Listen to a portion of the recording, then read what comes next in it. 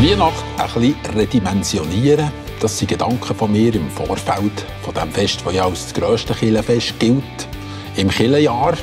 Und wir haben im Kirchgemeinderat ein bisschen über die Tannenbäume geredet. Die wehren mich ein bisschen dagegen, weil sie eigentlich einen heidnischen äh, Ursprung. Und einer der Räte hat gesagt, wir können doch alle Jahre ein, einen kleineren Baum, dass es die Leute nicht so merken. Am Schluss hat man dann fast keinen mehr.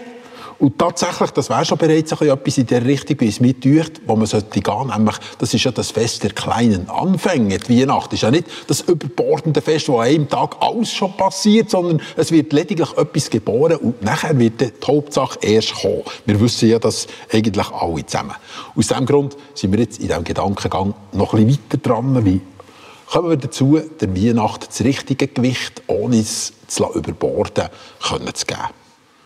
Wenn ich jetzt da mal im Kirchenbank hocke, wie ein normaler Predigtbesucher, Gottesdienstbesucher, Weihnachtsbesucher, dann muss ich mir sagen, wie ist das gekommen, dass man seit Stand gebracht, den Leuten quasi weiss zu machen, die Weihnachten ist das grosse Kirchenfest vom Jahr.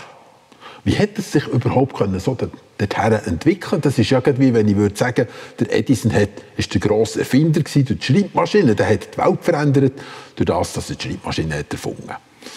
Wenn ich natürlich jetzt äh, so etwas würde ich in einem Schulbuch lesen, wie wenn ein Anwalt von der Familie Edison, dann würde ich sofort einschreiten und sagen, ja, halt, das stimmt doch gar nicht. Ich meine, jeder tut heute das Licht an und abknipsen, das verdanken wir alles am Thomas Edison, während die Schreibmaschinen im Zeitalter der Laptop immer mehr verschwinden. Also ist da eine riesige Ungerechtigkeit im Spiel und man muss sagen, wie könnte so etwas überhaupt geschehen? Jetzt bin ich aber nicht ein Anwalt von der Familie Edison. Dort ist die Sache sowieso fair verlaufen. Dort hat man Prioritäten richtig gesetzt. Dort weiss man, was die Hauptwerke waren vom Erfinder. Und so steht es so in den Schulbüchern die brauchen keine Verteidiger. Hingegen, wenn man die Sache von Jesus vertritt, dann muss man vielleicht manchmal auf die Pauke hauen und sagen, wie kommt es, dass am Karfreitag eine Kirche halb leer ist, an Ostern eine Kirche halb leer ist, an Weihnachten eine Kirche bumsvoll ist. Denn, wenn es wirklich um die grossen Werke geht von Jesus, bleiben viele Leute mit einer gewissen Nonchalance einfach daheim. Und vielleicht hat es etwas zu tun mit der Glühbirne also in dem Sinn, dass man auch nicht zu viel Licht verträgt, wenn man anfängt von Sünden reden, wenn plötzlich das Licht von Jesus auf das Leben von Leuten fällt.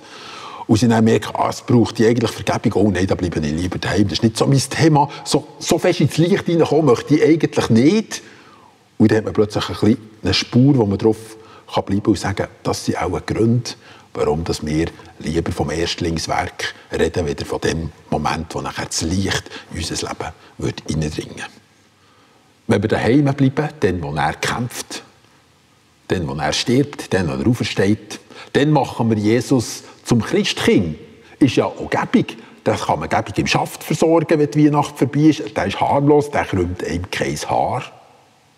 Man kann ihn gut handeln. Und er ist ein Accessoire geworden vom Weihnachtsmerit. Das ist dann eher schon noch ein Plus.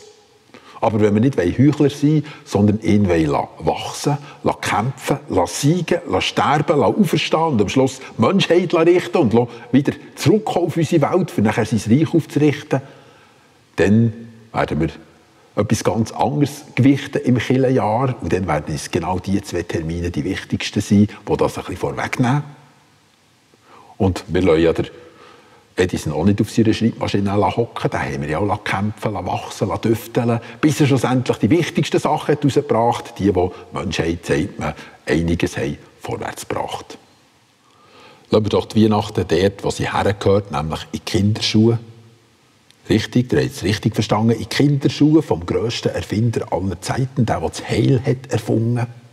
Der, der hat erfunden, wie man aus Tod Leben machen kann, wie man aus dem Sterben Liebe generieren kann der, der das Licht hat erfunden, das nicht vergeht.